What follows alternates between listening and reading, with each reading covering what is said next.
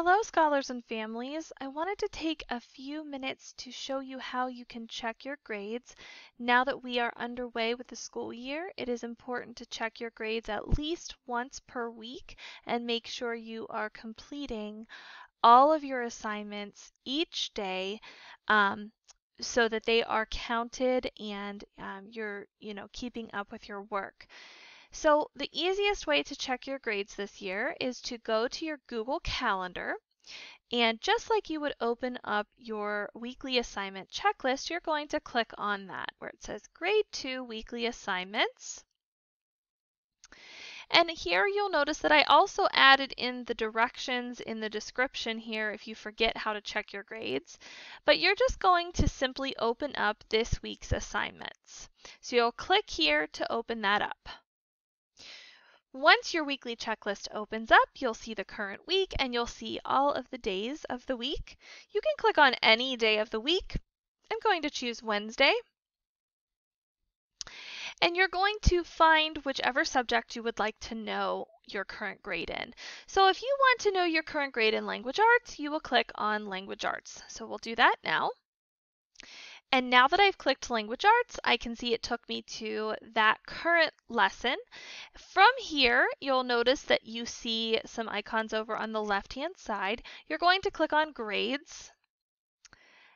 And this is where you'll see the Language Arts grade book. So whatever course you click on, you'll click on that course, you'll go to the grades, and then you can see the current grade for the quarter. So as you can see, this test student has a 73% for quarter one. And the way we grade things is we break them down into three categories. We have assessments, which are 40%, assignments, which are worth 40%, and then progress, which is worth 20%. And so um, depending on what we have assigned, you'll see the, the name of the assignment and you'll see the number of points and the score. So for example, the student took an assessment, the 1.07 Unit 1 Week 1 Progress Checkup, and they scored a 90 out of 100 on that test. Their assignments, they've done three things so far. The first one, they scored a 3 out of 3. The second one, they got a 7 out of 10. And the third one, you'll see this little orange hexagon that says missing. If you see any hexagons like this, that means that your scholar did not turn it in on time, but they still have additional time to complete it.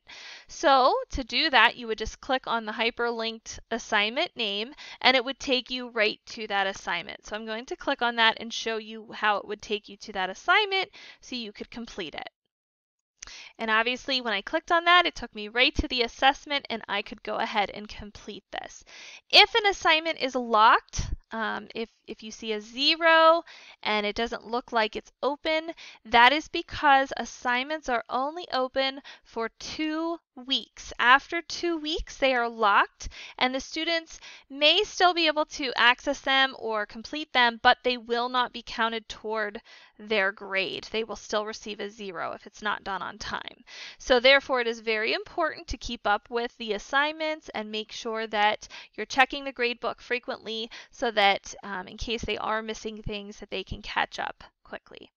If you have any questions about how to access the gradebook, please do not feel um, hesitant to reach out to either myself or Mrs. Mudd or any of your teachers. We are here to help and thank you for taking the time to watch this video.